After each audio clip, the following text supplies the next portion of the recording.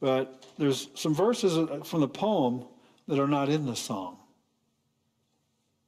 And when you understand his story, he says this Then from each black accursed mouth the cannons thundered in the south. Think about the son. Think about the son going off to war, civil war, the, the country torn in half. And with the sound, the carols drowned of peace on earth, goodwill to men. How can you sing happy songs? He goes on in the, in the poem.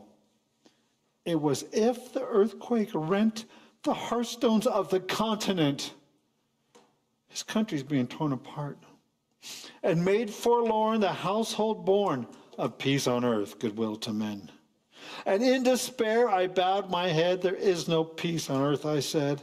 For hate is strong and it mocks the song of peace on earth, goodwill to men. And then something happens. Something happens, that last verse comes along. Then pealed the bells more loud and deep.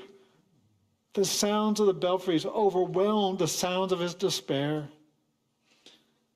God is not dead, nor doth he sleep. The wrong shall veil, the right prevail, with peace on earth, goodwill to men.